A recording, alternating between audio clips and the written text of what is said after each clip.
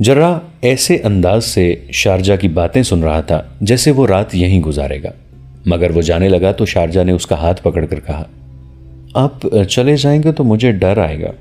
जर्राह ने उसे बताया कि वो उसे अपने साथ नहीं ले जा सकता और उसके साथ भी वो नहीं रह सकता।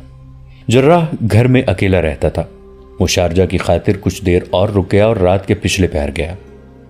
दूसरे दिन का सूरज अभी तलू नहीं हुआ था कि वो जख्मी को देखने आ गया। उसने रात वाले इन्हमाक से उसकी मरहम पट्टी की। जख्मी को दूध पिलाया और ऐसा खाना खिलाया, जो शारजा ने कभी ख्वाब में भी नहीं देखा था। उस दौरान अली बिन सुफियान आया। जख्मी की हालत देखकर चला गया, लेकिन जर्राह न गया। वो शारजा के साथ बातें करता और उसकी बातें सुनता रहा। उस रॉल्स शाम तक वो तीन बार जख्मी को देखने आया। हालाँकि वो सिर्फ़ दोपहर को आया करता था। शाम को वो चला गया तो जख्मी ने अपनी बहन से कहा, शारजा मेरी एक बात गौर से सुन लो। मेरी ज़िंदगी इस जर्राह के हाथ में है, लेकिन मैं देख रहा हूँ कि तुम्हें देखकर यह मेरा इलाज पहले से ज़्यादा अच्छे तरीके से करने लगा है।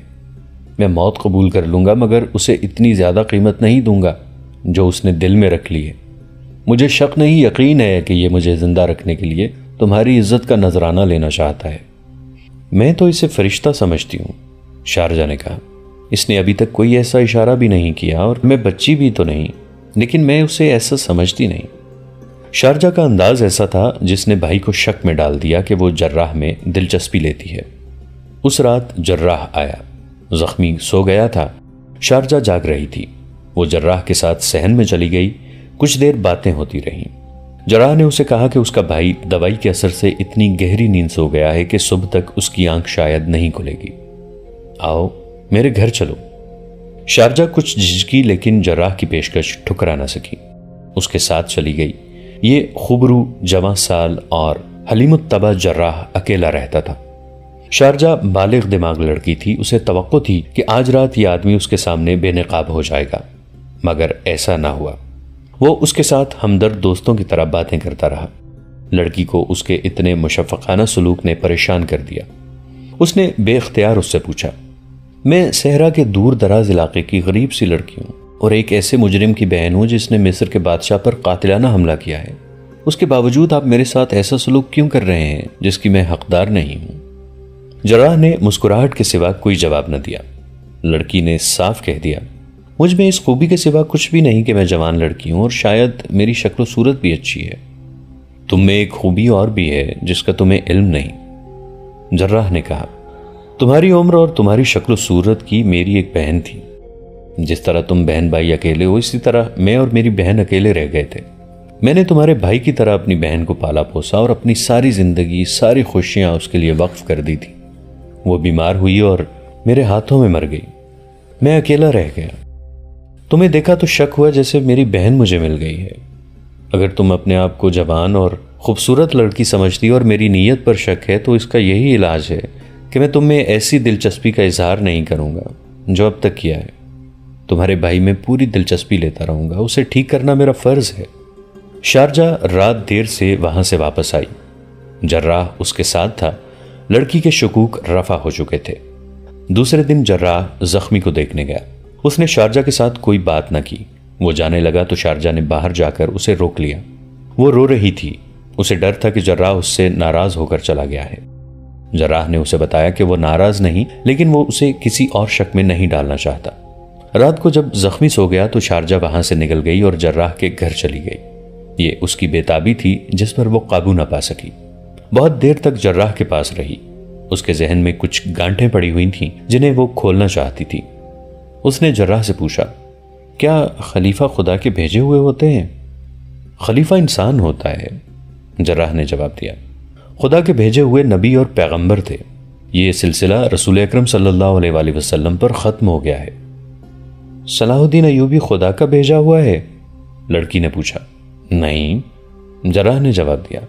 वो भी इंसान है, लेकिन आम इंसानों से उसका रुतबा बुलंद है, क्योंकि वो खुदा और खुदा के भेजे हुए आखिरी रसूल सल्लल्लाहु अलैहि वसल्लम के अजीम पैगाम को दुनिया के गोशे गोशे में पहुंचाना चाहता है। ऐसे और बहुत से सवाल थे जो शारजा ने पूछे और जर्राह ने उसके शुकूक रफा किए। उसने कहा, फिर मेरा भाई बहुत बड़ा गुनेगार है। अगर उसे कोई ये बातें बता देता जो आपने मुझे बताई हैं तो वह इस गुनाह से बचा रहता। अब तो उसकी जान बख्शी नहीं होगी। हो जाएगी जराह ने उसे बताया। अगर सलाहुद्दीन अयूबी ने कह दिया कि उसे ज़िंदा रखने की कोशिश करो तो इसका मतलब यह है कि उसे सजा नहीं दी जाएगी। उसे चाहिए कि गुनाहों से तोबा कर ले। मुझे पूरा यकीन है कि उसे कोई सजा नहीं दी जाएगी। मैं सारी उम्र सलाहुद्दीन अयूबी की और आपकी खिदमत में गुजार दूँगी, शारजा ने रोते हुए कहा। और मेरा भाई आप सबका गुलाम रहेगा। वो जज्बाती हो गई। उसने जर्राह के हाथ पकड़कर कहा, आप मुझसे जो कीमत वसूल करना चाहें, ले लें। मैं दूँगी। आप मुझे अपनी लौंडी बना लें। इसके एवज मेरे भाई को ठीक कर दें और उसे सजा से बचा लें। कीमत अल्लाह से वसूल की जाती है। जर्राह ने उसके सर पर हाथ रखकर कहा, भाई के गुनाह की सजा बहन को नहीं दी जाएगी और भाई की सेहत की कीमत बहन से वसूल नहीं की जाएगी। सबका पासबान अल्लाह है। उसकी जाते बारी ताला ने मुझे तुम्हारी इसमत की पासबानी और तुम्हारे भाई की सेहत की ज़िम्मेदारी सौंपी है। दुआ करो कि मैं इस इमानत में खयानत न करूँ। बहन की दुआ अर्श को भी हिला दिया करती है। दुआ करो दुआ करो। उस खुदा की अजमत याद रखो जिसके खिलाफ तुम्हें गुमराह किया जा रहा है। जर्राह ने उस लड़की पर तलिस्म तारी कर दिया। एक तो बातें ही ऐसी थीं जो जर्राह ने उसे बताई थीं। तासुर तो जर्राह के सुलूक ने पैदा किया था। जर्राह के मुतालिक तो उसे कुछ और ही शक हो गया था, लेकिन वो कुछ और निकला। उसे जैसे एहसास ही नहीं था कि ऐसी तन्हाई में और रात के वक्त इतनी हसीन और जवान लड़की उसके रहम करम पर है। रात आधी गुजर गई थी। जराह ने उसे कहा, उठो, तुम्हें वहाँ तक छोड़ आऊँ और तुम्हारे भाई को भी देखाऊं दोनों घर से निकले और आहिस्ता आहिस्ता चल पड़े। रात तारीख थी, वो दो मकानों के दरमियान से गुजर रहे थे। ये एक छोटी सी गली थी जिसमें से गुजरते ही वो मकान आ जाता था, जहाँ जख्मी हशीश कैद में पड़ा था और उसके दरवाजे पर संतरी खड़ा रहता था। वो दोनों उस गली में दाखिल हुए ही थे कि पीछे से दोनों को मज़बूत बाजों में जकड़ लिया गया। दोनों के मुँह कपड़ों में बंध गए, उनकी आवाज़ भी ना निकल सकी। जर्राह जिस्मानी लिहाज से कमज़ोर नहीं था, मगर वो बेखबरी में जकड़ा गया था। हमला आवर चार पाँच मालूम होते थे। उन्होंने दोनों को उठा लिया और तारीकी में गायब हो गए। कुछ दूर दो घोड़े खड़े थे। जर्राह के हाथ पाँव रस्सियों से बाँध दिए गए और उसे घोड़े पर डालकर एक आदमी घोड़े पर सवार हो गया। उसे किसी की आवाज़ सुनाई दी जो शारजा से मुखातिब थी। शोर ना करना शारजा, तुम्हारा काम हो गया है। घोड़े पर सवार हो जाओ। ये तुम्हारे लिए लाए हैं। शारजा के मुँह से कपड़ा उतार दिया गया था। जर्राह को उसकी आवाज़ सुनाई दी। इसे छोड़ दो। इसका कोई कसूर नहीं। यह बहुत अच्छा आदमी है। इसकी तो हमें ज़रूरत है। किसी ने कहा। शारजा किसी ने हुक्म के लहजे में कहा। खामोशी से अपने घोड़े पर सवार हो जाओ। शारजा की आवाज़ सुनाई दी। ये तुम हो सवार हो जाओ। किसी ने फिर हुक्म दिया। वक्त जाया ना करो। घोड़े सर पर दौड़ पड़े और जरा सी देर में काहिरा से निकल गए। शारजा निहायत अच्छी सवार थी। सुबह संतरी बदलने का वक्त हुआ। नया संतरी आया तो रात वाला संतरी वहाँ नहीं था। उसने अंदर जाके देखा तो वहाँ जख्मी सोया हुआ था। उसके ऊपर कंबल पड़ा हुआ था। उसका मुँह भी ढका हुआ था। नया संतरी बाहर वाले दरवाजे पर जाकर खड़ा हो गया। उसे मालूम था कि अब ये जर्राह जख्मी को देखने आएगा और अली बिन सुफियान भी आएगा। उसे यह भी मालूम था कि जख्मी की बहन जख्मी के साथ रहती है और उसके सिवा अंदर जाने की किसी को इजाज़त नहीं। मगर बहन भी उसे कहीं नज़र नहीं आई थी। सूरज तुलू हुआ तो अली बिन सुफियान आया। उसने संतरी से पूछा कि जर्राह आ चुका है या जख्मी को देखकर चला गया है? संतरी ने उसे बताया कि जर्राह नहीं आया। पहला संतरी यहाँ नहीं था और अंदर जख्मी की बहन भी नहीं है। अली बिन सुफियान ये सोचकर अंदर गया कि जख्मी की तकलीफ़ बढ़ गई होगी और उसकी बहन जर्राह को बुलाने चली गई होगी। अली बिन सुफियान के लिए ही नहीं, ये जख्मी सल्तनत इस्लामिया के लिए भी मिस्र जितना कीमती था। उसके सेहतियाब होने का इंतज़ार था और एक बड़ी खतरनाक साजिश के बेनकाब होने की तो थी। वो तेज़ी से अंदर गया।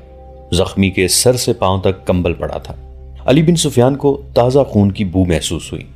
उसने जख्मी के मुँह से कंबल हटाया तो यूँ बिदक कर पीछे हट गया, जैसे वो जख्मी नहीं, अजदहा था। उसने वहीं से बाहर खड़े संतरी को आवाज़ दी। संतरी संतरी दौड़ता अंदर गया। अली बिन सुफियान ने उसे जख्मी का चेहरा दिखाते हुए पूछा, ये रात वाला संतरी तो नहीं? नए संतरी ने चेहरा देखकर हैरत और घबराहट से बोझल आवाज़ में कहा, यही था। ये इस बिस्तर में क्यों सोया हुआ है हजूर? जख्मी कहा है? ये सोया हुआ नहीं। अली बिन सुफियान ने उसे कहा, मरा हुआ है। उसने कंबल उठाकर परे फेंक दिया। बिस्तर खून से लाल था। वो जख्मी हशीश नहीं, बल्कि रात वाले संतरी की लाश थी। अली बिन सुफियान ने देखा, लाश के दिल के करीब खंजर के दो जख्म थे। जख्मी हशीश गायब था। अली बिन सुफियान ने कमरे में, सहन में और बाहर ज़मीन को गौर से देखा। कहीं खून का एक कतरा भी नज़र न आया। इससे ज़ाहिर होता था कि संतरी को ज़िंदा उठाकर अंदर लाया गया और बिस्तर पर लिटाकर उसके दिल में खंजर मारे गए। उसे तड़पने नहीं दिया गया, वरना खून के छींटे बिखरे हुए होते। वो मर गया तो उस पर कंबल डाल दिया गया और कातिल जख्मी कैदी को उठाकर ले गए और उसकी बहन को भी ले गए। साफ़ ज़ाहिर था कि जख्मी की बहन ने जख्मी के फरार में मदद दी है।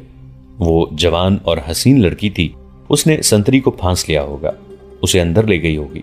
लड़की के साथियों ने संतरी को बेखबरी में पकड़ा होगा। अली बिन सुफियान को इस गलती पर तासुफ हुआ कि उसने जख्मी के चार साथियों को जख्मी से मिलने की इजाज़त दी थी। उन्होंने बताया था कि वो जख्मी के चचाजाद और तायाजाद भाई हैं। वो अंदर आकर देख गए थे कि यहाँ के हिफाजती इंतज़ाम क्या हैं। उसे बहन को भी यहाँ रखने की इजाज़त नहीं देनी चाहिए थी। उसने ये भी यकीन नहीं किया था कि ये लड़की जख्मी की बहन थी या उस गिरोह की फर्द थी। अली बिन सुफियान को गुस्सा आया और वो अपनी भूल पर पछताया भी, लेकिन उसने दिल ही दिल में जख्मी और उसके साथियों के इतने कामयाब फरार को सराहा। अली बिन सुफियान जैसे सराग रसा को धोखा देना आसान नहीं था। वो लोग उसे भी जुल दे गए थे। उसने नई संतरी से कुछ बातें पूछी तो उसने बताया कि उससे पहले वो रात को भी पहरे पर खड़ा रह चुका है।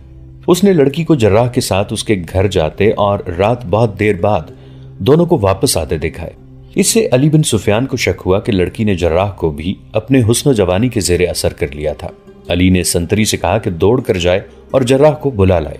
संतरी के जाने के बाद वो सुराग ढूँढने लगा। बाहर गया ज़मीन देखी, उसे पाँव के निशान नज़र आए, लेकिन निशान उसकी मदद नहीं कर सकते थे। जख्मी शहर में तो रूपोश नहीं हो सकता था। एक ही तरीका रह गया था। जख्मी के गाँव पर, जहाँ से उसकी बहन को लाया गया था, छापा मारा जाए। लेकिन वो गाँव बहुत दूर था। संतरी ने वापस आकर बताया कि जर्राह घर नहीं है। अली बिन सुफियान उसके घर गया। उसके मुलाजिम ने बताया कि जर्राह रात देर बाद एक लड़की के साथ बाहर निकला था, फिर वापस नहीं आया। उस लड़की के मुतालिक उसने बताया कि पहले भी जर्राह के साथ आ चुकी है और दोनों बहुत देर तक अंदर बैठे रहे थे। अली बिन सुफियान को यकीन हो गया कि जर्राह भी जख्मी के फरार में शरीक है और ये लड़की के हुस्न के जादू का कमाल है। अली ने अपने महकमे के सुराग रसा को बुलाया और उन्हें फरार के मुतालिक बताया। वो सब इधर उधर बिखर गए। एक जगह उन्हें बहुत से घोड़ों के खुरों के निशान नज़र आए। इर्द गिर्द के रहने वालों में से तीन चार आदमियों ने बताया कि रात उन्होंने बहुत से घोड़े दौड़ने की आवाज़ें सुनी थी। सुराग रसा सुमो को देखते वहाँ से निकल गए, मगर आगे जाना बेकार था। रात के भागे हुए घोड़ों को अब खुरे देख देख कर पकड़ना किसी पहलू मुमकिन नहीं था। सिर्फ़ इतना पता चला कि मफरूर उस समत को गए हैं। अली बिन सुफियान के करने का काम अब यही रह गया था कि कायम मकाम अमीर मिस्र तकीउद्दीन को इत्तला दे दे कि जख्मी हशीश को उसके साथी अगवा करके ले गए हैं। उसे यह ख्याल भी आया कि जख्मी ने राज की जो बातें बताई थी, वो बेबुनियाद थी और उसने अपनी जान बचाने और फरार का मौका पैदा करने के लिए ये चाल चली थी। वो सुल्तान अयूबी को भी और अली बिन सुफियान को भी धोखा दे गया था। आधा दिन गुजर गया था, जब अली बिन सुफियान तकीउद्दीन को इतला देने के लिए चला गया। उस वक्त उसका जख्मी कैदी, जो खड़ा होने के भी काबिल नहीं था, काहिरा से बहुत दूर एक वीराने में पहुँच चुका था, मगर वो ज़िंदा नहीं था।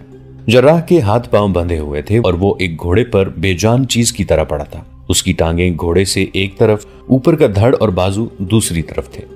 रात भर वो इसी हालत में रहा था। सुबह का उजाला साफ़ नहीं हुआ था जब घोड़े रुके। जर्राह की आँखों पर पट्टी बाँध दी गई। उसे पट्टी बांधने वाला आदमी नज़र नहीं आ सका क्योंकि उसका सर नीचे था। पट्टी बंधे जाने के बाद उसके पाँव खोल दिए गए और उसे घोड़े पर बिठा दिया गया। उसके हाथ बंधे रहे। उसके पीछे एक आदमी घोड़े पर सवार हो गया और घोड़े से जरा से आराम के बाद उसके हाथ बंधे रहे। उसके पीछे एक आदमी घोड़े पर सवार हो गया और घोड़े जरा आराम के बाद फिर चल पड़े। उसे इतना ही पता चल सकता था कि पीछे चंद और घोड़े आ रहे हैं और सवार आहिस्ता आहिस्ता बातें कर रहे हैं। घोड़े चलते गए और सूरज ऊपर उठता गया।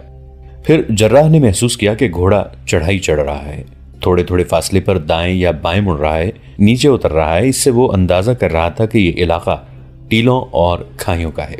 बहुत देर बाद जब सूरज सर पर आ गया, उसे पीछे से बुलंद आवाज़ें सुनाई दी, जिनसे उसे पता चल गया कि कोई सौदागर पड़ा है। उसका घोड़ा रुक गया और पीछे को मुड़ा, जिनसे उसे पता चला कि कोई सवार गिर पड़ा है। उसका घोड़ा रुक गया और पीछे को मुड़ा। उसे इस तरह की आवाज़ें सुनाई दी, उठा लो, साय में ले चलो, बेहोश हो गया है। वो खुदाया इसका खून बह रहा है। उसे शारजा की घबराई हुई आवाज़ सुनाई दी। जरा की आँखें और हाथ खोल दो, वो खून रोक लेगा, वरना मेरा भाई मर जाएगा। ये जख्मी हशीश था जो घोड़े से गिर पड़ा था। रात भर की घुड़सवारी से और घोड़ा इतनी तेज भगाने से उसके पेट का जख्म खुल गया था और रान के जख्म से भी खून जारी हो गया था।